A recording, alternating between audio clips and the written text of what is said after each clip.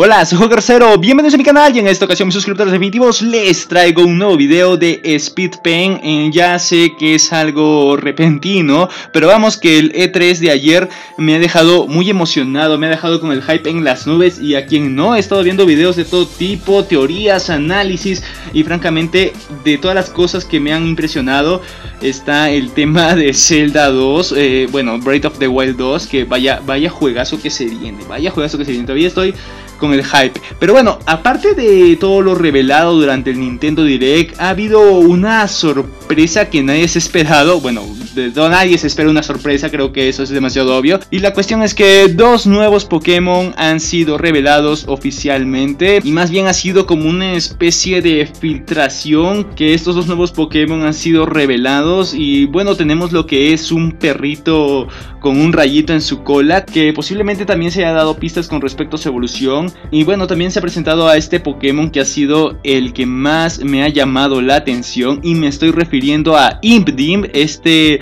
diablillo cute. Que francamente me ha encantado el diseño, así todo ojón, chaparrito, con extremidades delgadas. Por lo que en esta ocasión he decidido hacerle una evolución fan o un Fakemon, como suelen decirlo en el mundo del arte Pokémon.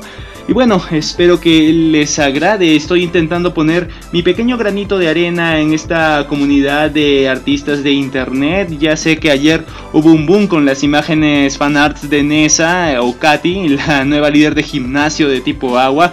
Y vaya, sé que no puedo competir contra ello, ¿qué puedo decir? Todavía soy una especie de amateur con el tema del dibujo.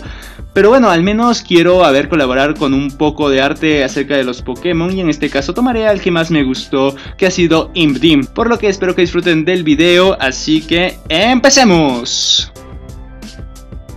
Y comienzo como siempre con una base hecha lápiz en una hoja. Um, sí, ya sé que parece un yokai o un Digimon, aunque siendo honestos, a estas alturas no creo que importe mucho. O, si, como sea, ¿qué es Imdim? Se preguntarán. Bueno, como su nombre lo dice, es un diablillo y vaya combinación de tipos que ha tenido. Hada siniestro, único de momento.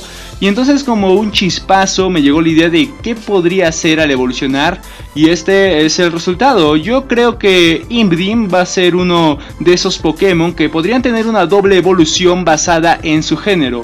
Nótese que tomé como referencia a Meowstic y a Espur, algo similar creo yo. Y bueno, Imdim da ese aspecto que hace pensar que va a tener una evolución o posiblemente no, tal vez sea una especie de Cellbola o Mimikyu que se quedará en esa fase por siempre.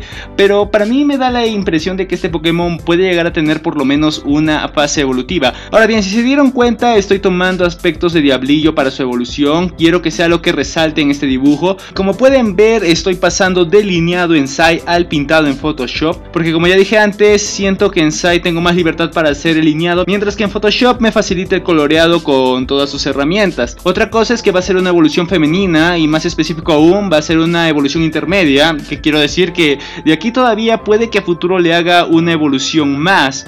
Porque siendo honesto, creo que este Pokémon podría ser el Ralts de Galar, o sea, un Pokémon con dos evoluciones que no sea necesariamente el semilegendario de su generación. Y como siempre estoy usando la paleta de colores original, estoy usando una captura de pantalla de Imdim para basarme en ello, ya que de momento no tenemos una imagen oficial, así que es lo que hay. Y como les iba diciendo, voy a recurrir a un Pokémon humanizado, sé que no son muy comunes, pero Pokémon les da cierto toque que los hace ver geniales, ya sea Gardevoir, Gotilet, muchos Pokémon de tipo lucha, etc. Y lo que busco aquí al menos es tratar de guardar rasgos del Pokémon base. Sé que también muchos de los Pokémon humanoides tienen la característica de mantener la forma de los ojos en cada fase evolutiva. Aquí lo hago con la diferencia de darle un iris de un color para que la evolución del macho posea los ojos de otra tonalidad. Creo que ha sido un tanto por las prisas, pero me di cuenta que más adelante necesitaba unas cuantas correcciones. Por ejemplo, el color al principio no lo tenía muy claro porque cometí ciertos errores al asignarle colores a ciertas partes como en el collar. Después me di cuenta que el diseño también necesitaba correcciones en general. Por ejemplo, en la boca no era como la de Imdin, quería dar un aspecto más al de Imdin, así que la tuve que agrandar un poco. La cara también tenía un aspecto un tanto gatuno y no era tan redondo como el original. Los brazos me habían salido también algo gruesos, quería corregir eso. y las orejas tampoco me convencían mucho, al igual que los ojos.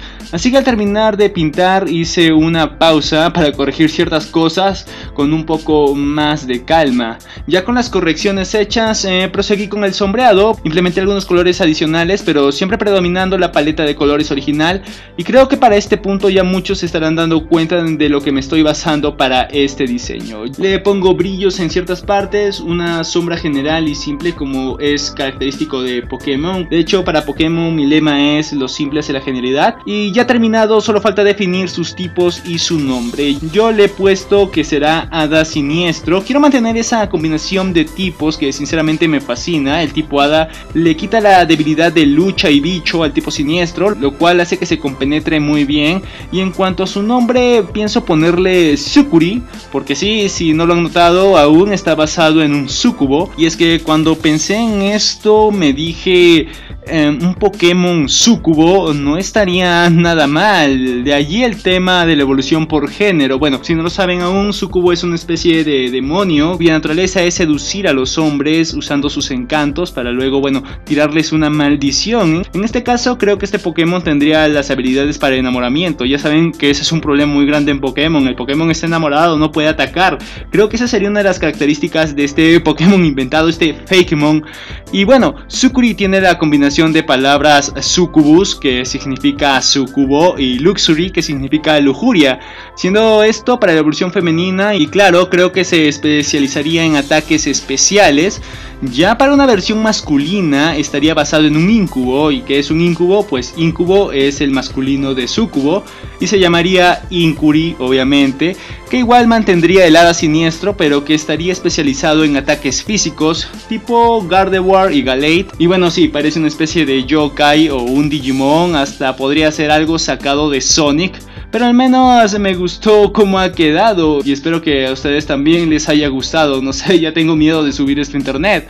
Y bueno, esto ha sido todo por hoy. Antes de acabar, posiblemente lo hayan notado ya, pero estoy tomándome una semana de vacaciones, por lo que voy a descansar de todo lo que me rodea, por lo que no habrá curiosidades esta semana. No atenderé ninguna red social más que los comentarios de YouTube. Y creo que eso es todo lo que tenía que decir. Si les ha gustado el video, ya saben, pueden dejarle like y comentar todo lo que quieran. Cuídense todos, fuertes abrazos, muchos besos, saludos y adiós.